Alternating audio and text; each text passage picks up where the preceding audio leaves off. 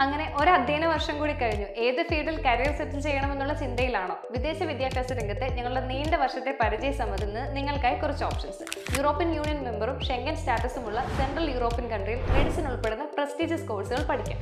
മെഡിസിനിൽ നിന്ന് തന്നെ തുടങ്ങാം.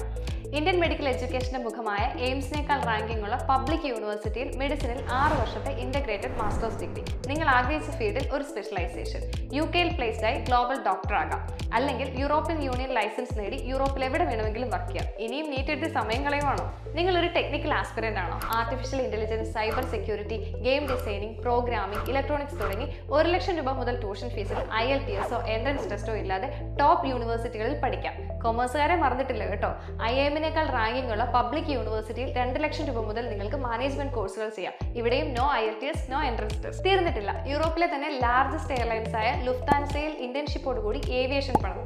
കൈ നിറയെ സാലറി വാങ്ങാൻ occupational therapy clinical psychology multimedia digital marketing അങ്ങനെ നീളുന്ന ലിസ്റ്റ് ഒരു റീലിൽ തീരില്ല.